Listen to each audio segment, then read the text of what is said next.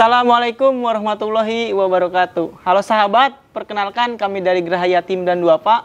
Kali ini kita akan menemani kalian dalam program Kenal Lebih Dekat Geraha Yatim. Saya Ali Talbar selaku host yang akan memandu acara ini selama bulan Ramadan. Di tema podcast Kenal Lebih Dekat Geraha Yatim, ini akan penuh insight dan informasi yang bisa sahabat dapatkan. Saya sudah bersama dengan manajer perencanaan dan penghimpunan yang akan sharing mengenai program-program Ramadan di Geraha Yatim dan Duafa. Beliau sudah mengabdikan dirinya menjadi penyayang yatim selama kira-kira berapa tahun nih Pak? Um, Alhamdulillah sampai saat ini sudah kurang lebih 10 tahun mas 10 tahun ya Pak? Lama banget, lama banget juga gitu ya Pak ya? Alhamdulillah Da- eh, di tahun ini kira-kira ada berapa asrama Pak? Um, Sampai saat ini sudah Sekarang sudah 20 cabang banyak juga ya, Pak, ya? Binaan Geraha Yatim Enggak lihat. Itu di seluruh Indonesia Pak? Eh, Betul mas Eh, Ada di wilayah Cirebon, Kuningan, Jawa Barat Kemudian di eh, Jakarta, Bekasi Kemudian di Solo, Jogja, Surabaya Dan di eh, Kalimantan Selatan Kalimantan Selatan. Hmm. Oke, eh, nah saya penasaran nih, apa sih yang menjadi motivasi eh, Bapak untuk mau mengabdikan dirinya sebagai pengasuh yatim? Hmm. Barangkali bisa menjadi motivasi bagi teman-teman semua yang sedang menyaksikan podcast ini. Hmm, motivasi saya begini mas, mungkin ini lebih ke apa ya, anjuran atau perintah dari agama itu sendiri ya. Bahwasanya Allah Subhanahu Wa Taala berfirman di Quran surat Al-Maun, sering baca Quran surat Al-Maun, yang bunyinya kurang lebih A'udzubillahi minasyaitonirrajim Aro'aital ladzi yukadzibu bidin Fadzalikal ladzi yad'ul yatim wala yahudu ala tuhamil miskin. Ya. Allah mengatakan di situ siapakah yang mendustakan agama? Ya.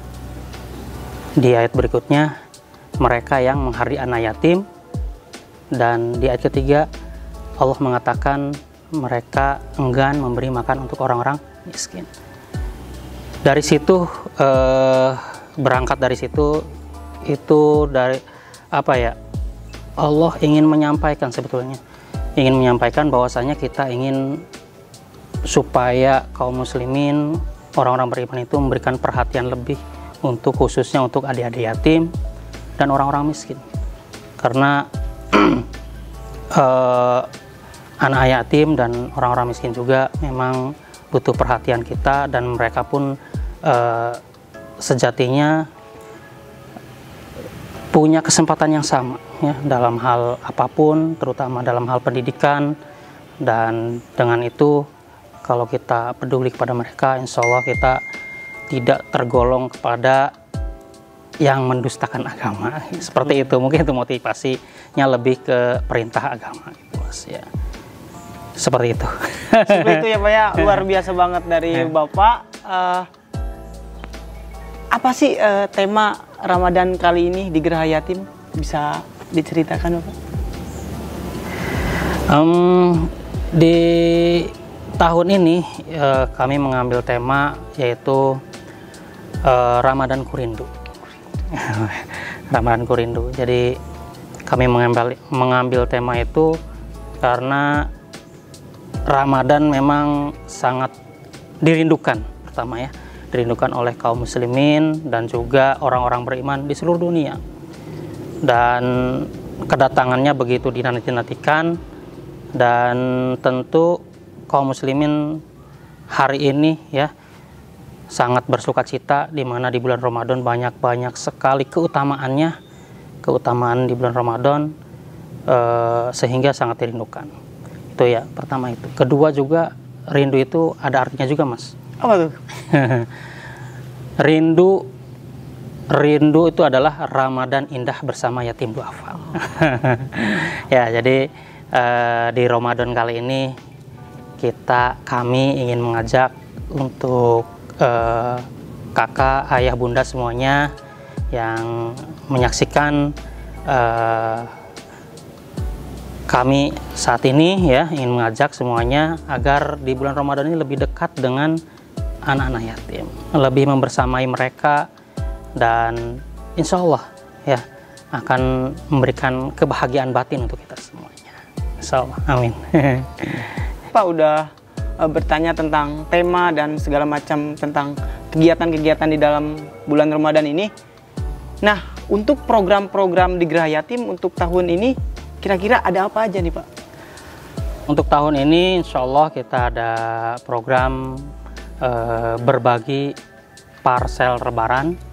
Kemudian juga yang kedua ada paket uh, berbagi paket buka puasa dan juga sahur kemudian juga yang ketiga ada berbagi busana lebaran yatim ya kemudian ada juga berbagi THR untuk adik-adik yatim dan juga ada terakhir ada mudik lebaran yatim ya itu mungkin program Nah Pak, eh, kita tadi sudah eh, berbicara banyak tentang program-program yang ada di Gerah Yatim dan Dua Pak.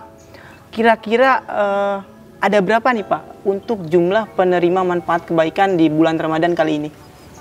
Hmm, untuk tahun ini kita merencanakan uh, paket parcel lebaran insya Allah akan kita uh, salurkan 1510 paket untuk adik-adik yatim. Oh banyak juga ya Pak ya? Alhamdulillah. Kemudian ada untuk guru ngaji 500 paket dan uh, untuk lansia duafa ada 500 paket. Jadi totalnya untuk parcel lebaran tahun ini ada kurang lebih 2.510 paket. Oh banyak banget juga ya Pak ya? Alhamdulillah ya. Untuk yang parcel lebarannya. Kemudian ada juga untuk paket menu paket buka puasa bersama.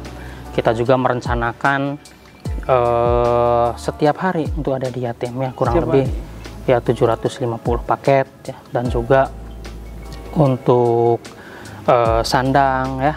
Itu juga untuk 200 anak yatim duafa THR juga untuk 200 anak yatim duafa dan untuk yang busana lebaran dan THR kita khususkan memang untuk adik-adik yatim yang memang bermukim uh, tinggal di asrama binaan Geraha Yatim dan Duafa ya itu ya. Jadi mudah-mudahan sih bisa memberikan manfaat. Amin, amin. Ya, karena uh, berbagi buka puasa juga insya Allah akan memberikan manfaat karena orang yang memberikan buka puasa ya untuk orang yang berpuasa insya Allah pahalanya sama dengan orang yang berpuasa. Luar jadi biasa. ingin berbagi pahala ya. Tadi luar biasa banget ya. Uh, beliau uh, menceritakan tentang uh, beberapa manfaat yang akan disalurkan kepada uh, mereka yang membutuhkan uh, khususnya di bulan Ramadan kali ini. Nah buat sahabat jangan lupa nih. Karena di bulan Ramadan kali ini kebaikan-kebaikan kita akan Allah lipat gandakan. Amin. Amin amin amin. Bisa ikutan nih. Nah, uh, untuk pertanyaan selanjutnya nih Pak, uh, manfaat apa sih yang bisa didapatkan dari uh, mustahik dari program ini? Manfaatnya tentu uh, lebih ke kebahagiaan, Mas. Kebahagiaan ya. Kebahagiaan, seneng, gembira, ya karena uh, program ini adalah untuk berbagi ya. Jadi di mana di uh, saat ini ya kebutuhan-kebutuhan bahan makanan pokok cenderung uh, kurang stabil ya dan cenderung malah naik ya. Dengan kita menghadirkan program ini insya Allah ya setidaknya bisa memberikan apa ya meringankan ya beban keluarga dari adik-adik yatim dan para duafa. Dan mereka tentunya di Ramadan kali ini bisa bergembira, ikut bergembira sama halnya dengan kaum muslimin pada umumnya. Seperti itu. Nah, itu uh, sahabat yatim uh, tadi uh, beliau sudah menyampaikan tentang apa sih manfaatnya uh, di kegiatan hmm. bulan Ramadan kali ini khususnya untuk uh, para mustahik. Nah, uh, untuk pertanyaan selanjutnya nih, Pak. Uh, bagaimana sih uh, supaya kita itu memiliki semangat dan motivasi untuk bisa uh, berbagi setiap bulan saat ada rezeki. Oh, iya. Baik mas, uh, sebetulnya uh, kita melakukan sesuatu itu biasanya kan kalau ada dampak baik untuk kita ya. Contoh kita pengen uh, badan kita sehat, ya tentu kita akan melakukan olahraga seperti itu ya. Betul. Kalau kita olahraga dengan rutin, kontinu, badan kita sehat. Begitupun dengan eh, berbagi, misalkan bersedekah. Insya Allah kalau kita mengetahui ya manfaat dari sedekah itu sendiri, insya Allah kita akan menjadi habit, kebiasaan, kita ya, insya Allah. Kalau kita lihat di Quran surat Al-Baqarah ayat 245 itu eh, itu menggambarkan bahwasannya salah satu pintu rizki itu dari sedekah, Mas.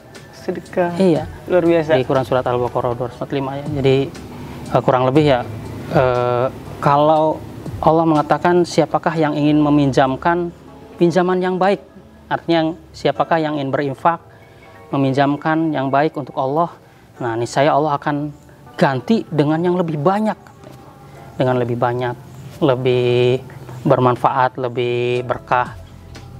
Nah, itu Allah pasti akan ganti ya. Jadi eh, dan Allah pun akan menyempitkan dan melapangkan rezeki bagi siapa yang kehendaki. Nah, dengan kita sering bersedekah, berbagi, itu sebetulnya Allah ingin memberkahkan, ingin memperbanyak harta yang kita miliki. Dan juga eh, bersedekah itu juga sebetulnya bagian daripada kebutuhan kita, Mas. Jadi bukan kebutuhan orang yang kita beri, tapi untuk kebutuhan kita sendiri. Kenapa? Karena yang kita kasih itu, yang kita sodakohkan, yang kita infakkan, sebetulnya itu adalah uh, sesuatu yang akan kita temuin nanti di kehidupan kita yang akan datang. Ya. Betul, betul. Di yaumil akhir nanti itu sebagai simpanan kita. Ya insya Allah nanti menjadi amal soleh dan menjadi teman kita di yaumil akhir. Seperti itu. Waduh luar biasa. Insya Allah nanti kita akan senang bersedekah kalau punya motivasi betul, betul. itu. Alhamdulillah sahabat yatim hari ini kita uh, sudah seru-seruan nih ngobrol dengan uh, Bapak Jajakolah Khairan Kasiran Bapak sudah berkenan sama, hadir. Sama-sama ya. Nah sahabat uh, hari ini uh, kita banyak sekali mendengarkan tentang uh, ilmu dari Bapak berkenaan dengan bulan Ramadan uh, untuk tahun ini. Nah bagi sahabat yatim barangkali ada pertanyaan-pertanyaan yang ingin disampaikan kepada kami uh, bisa ditulis di kolom komentar uh, dan jangan lupa uh, buat teman-teman yang ingin mengetahui seputar JIS bisa komen, like, and subscribe. Dan jangan lupa share juga video ini.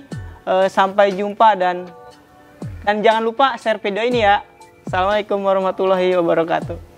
Mohon maaf sahabat Gerah Yatim uh, jika ada suara-suara bising seperti burung di atas itu. Ya karena kita berada di alam terbuka, tapi mudah-mudahan tidak uh, mengurangi per, tidak mengurangi bincang-bincang kita bersama Bapak Abdul. Salah siap.